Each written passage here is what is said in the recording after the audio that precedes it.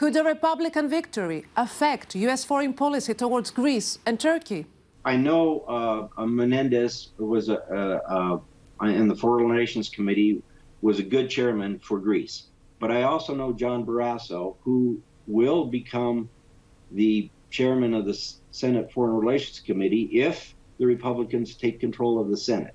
I know John is pro Greek as well. Is a very smart man when it comes to foreign relations, and he understands that Greece is a very important NATO partner, an important um, strategic partner with the United States in the Eastern Mediterranean.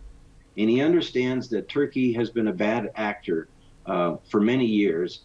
Donald Trump might announce he will run for president in 2024. What is your opinion? My concern would be is if um, in two years um, we we do find that President Trump runs again, and that may be that may be difficult for Greece. I hope that uh, in the future we've we have a, a Republican uh, president, um, but there are many better choices in my mind than President Trump.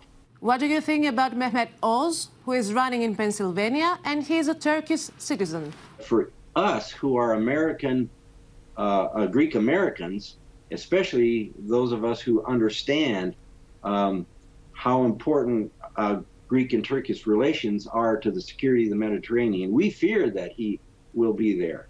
And so we're torn